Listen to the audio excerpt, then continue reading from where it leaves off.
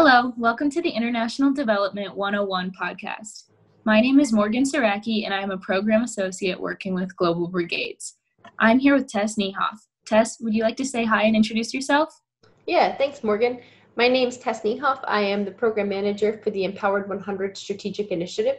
The E100 is Global Brigade's initiative to end rural poverty in Honduras, Nicaragua, Panama, and Ghana in 100 communities and better align ourselves with United Nations Sustainable Development Goals.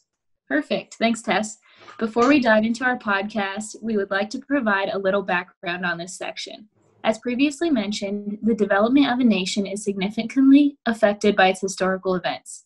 This series is dedicated to exploring the history and current challenges of some of the countries that we, Global Brigades, work with today. We incorporate perspectives from well versed, on the ground GBT members in Nicaragua, Ghana, Panama, and Honduras. While only one of these podcasts may represent the country you will brigade in, each country has a unique past that is worth listening to. The podcasts are short and condensed versions of events that spanned across many, many years, so please use this platform to inspire further research on the events discussed, among others that we didn't get to. You may utilize our independent research resource guide for material referenced in the podcast. With that, we encourage you to listen to the entire series and learn from our GB team. If you have additional questions or would like to discuss these events in more detail, please reach out to your program associate or the administration email on our website. Thank you for listening.